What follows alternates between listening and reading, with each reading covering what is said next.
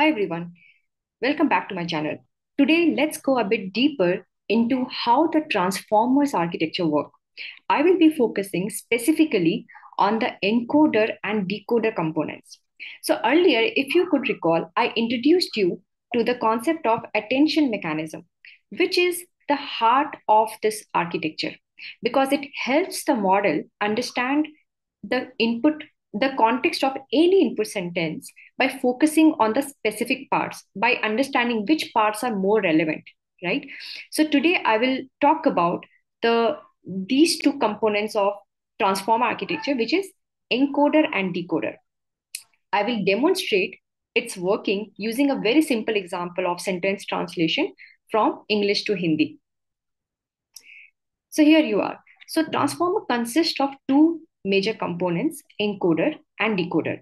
Encoder reads the whole input and figures out which parts are important using the attention mechanism, while decoder generates the output.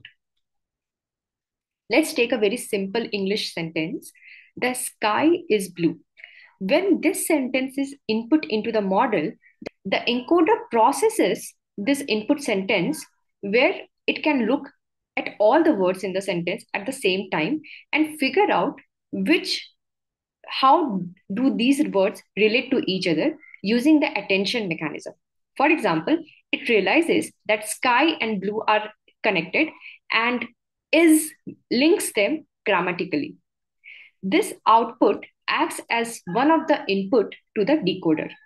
Now once the encoder has built this meaningful representation decoder comes into the picture the first thing that happens is that special tokens are added to mark the beginning and end of the sentence. SOS, EOS, start of sentence, end of sentence. These are like the traffic signals to the model, which instructs when to start generating the output and when to stop generating the output. The decoder starts by receiving the SOS token as one of the input and encoder output as another new input. A point to be noted is decoder generates the output one at a time, like this. This output is then fed back to the decoder as another set of input along with the previous inputs, like this.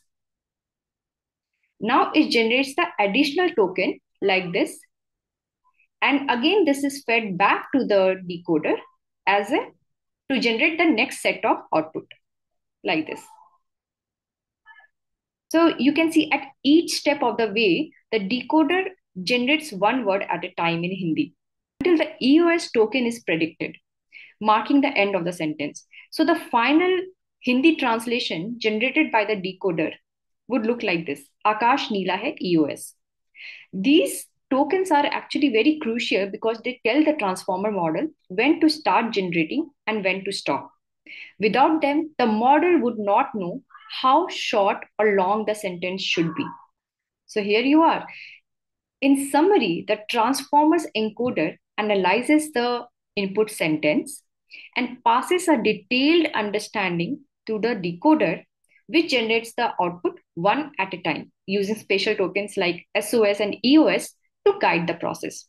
This whole architecture enables the model understand the language beyond literal translation and enable it to have more natural and context aware communication. So hope you like this video and learn something new. Do like and subscribe to my channel for more such knowledge and updates. Thank you.